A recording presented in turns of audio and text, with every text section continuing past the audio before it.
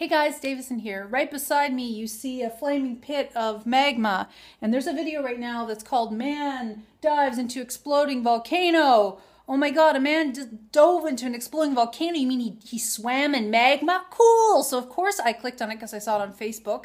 And uh, what I'm pissed off about is that no, no, they don't dive into the magma. They just descend into the volcanic crater. And I mean, I get that that's crazy because of the heat and, and all the other risks involved involved, but I feel like the title is misleading because they don't really dive into the volcano. They just get really close to the edge of it with um, protective gear on. So I'll include a link to it, but I'm kind of like disappointed that no, there's no.